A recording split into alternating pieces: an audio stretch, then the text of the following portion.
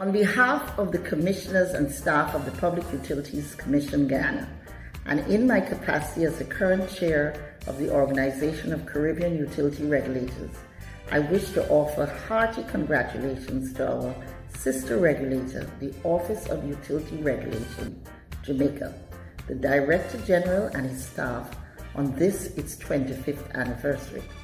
The OUR began its operations in January 1997 like PUC Guyana, which commenced its operations in the 1990s, is the multi-sector regulator for the electricity, water, and telecommunications sectors. Throughout its journey to this silver milestone, the OUR has made and continues to make significant strides in the energy sector as it provides strong advocacy and oversight for cleaner and renewable energy by promoting the use of an energy mix of wind and solar plants and hydropower. OUR's energy sector is targeting by 2030 a renewable energy status of 20% of electricity generation.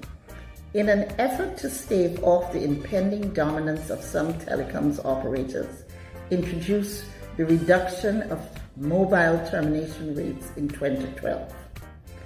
PUC Guyana is particularly grateful for OUR's support with respect to number portability as OUR had already led the charge towards telecoms liberalization. The bold establishment of the K Fund, which provides the water sector with the necessary fiscal support to increase its efficiency in water distribution, wastewater treatments, and the expansion of sewage services.